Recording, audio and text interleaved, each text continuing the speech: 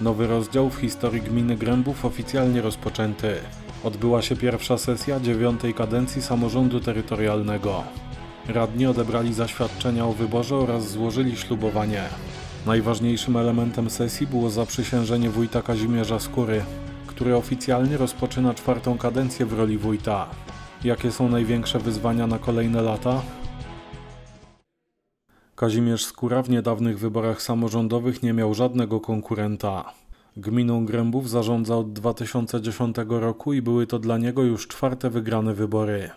Uzyskał 75% poparcia mieszkańców, co jest najlepszym wynikiem w całym powiecie tarnobrzeskim.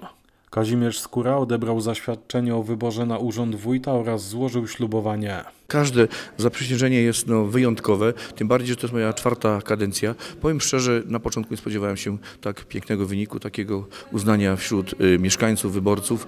No, to świadczy o tym, że naprawdę ta rada poprzednia, y, także ja, pracowaliśmy y, dobrze, że ludziom się podoba to, co robimy. Nasze plany na przyszłość są bardzo też pod, podobne.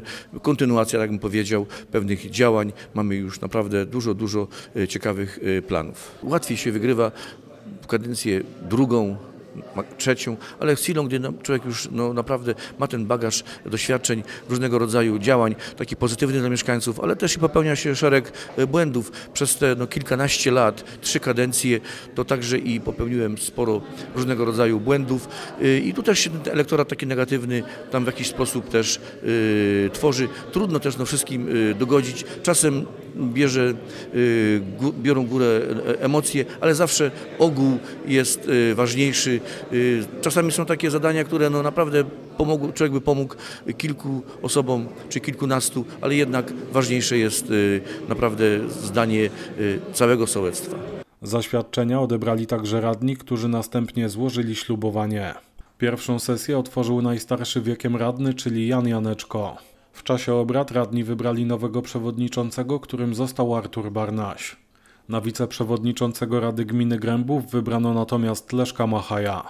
Z pewnością zaszczyt, z pewnością wyzwanie i najbardziej y, czego bym sobie życzył, żeby wszystkich tych, którzy na mnie zagłosowali, nie zawieść.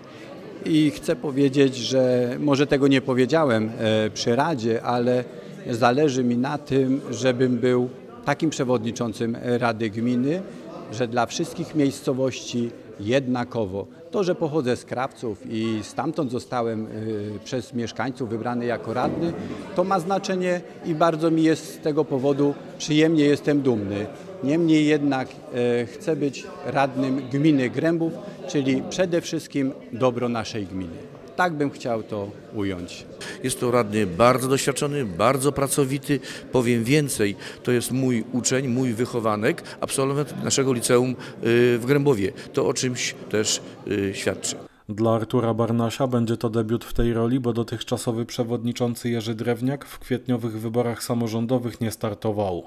Większość dotychczasowych radnych została oceniona pozytywnie i dzięki temu kolejny raz będzie sprawowała mandat. Y, Jest pięciu nowych radnych, dziesięciu zostało z poprzedniej y, kadencji. Liczę na to, na na naprawdę bardzo dobrą współpracę z radnymi, przynajmniej ja będę taką y, współpracę, taką współpracę deklaruję.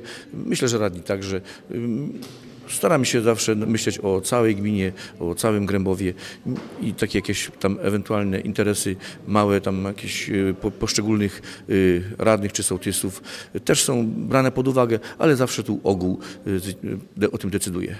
Mam nadzieję, że tak jak dzisiaj, to będziemy współpracować przez kolejne lata i że wzorem Rady poprzedniej, w której też miałem przyjemność brać udział jako e, przewodniczący komisji, e, także myślę, że będziemy się dogadywać na komisjach, tak jak już powiedziałem, a na sesji będziemy realizować tylko to, co jest w punkcie obrad. Radni wybrali także przedstawicieli przewodniczących komisji stałych Rady Gminy Grębów. Na zakończenie pierwszej sesji wykonano pamiątkowe zdjęcia. Kampania wyborcza, wybory samorządowe oraz okres pewnego zawieszenia pomiędzy kadencjami to już przeszłość. Teraz pora na ciężką pracę i realizację kolejnych inwestycji. Już myślimy o budowie y, ujęcia wody, to jest około 11 milionów złotych, całkowita przebudowa, właściwie nowe ujęcie wody, y, dwie szkoły, y, 5,5 miliona, y, żłobek w tej chwili realizujemy, 13 odcinków dróg.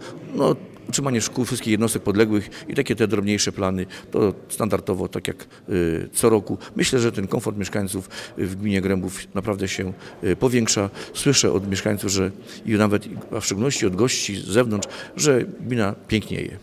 oczyszczalnia ścieków i ujęcie wody.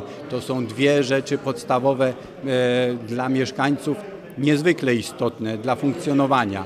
A zostało jeszcze wiele innych rzeczy do zrobienia, choćby poprawa e, budynków szkół, czy poprawa jak zwykle infrastruktury, rozszerzenie e, rozszerzenie e, kanalizacji w niektórych miejscowościach, gdzie nie została jeszcze zrobiona. Z pewnością nie braknie nam zadań i wyzwań na kolejną kadencję.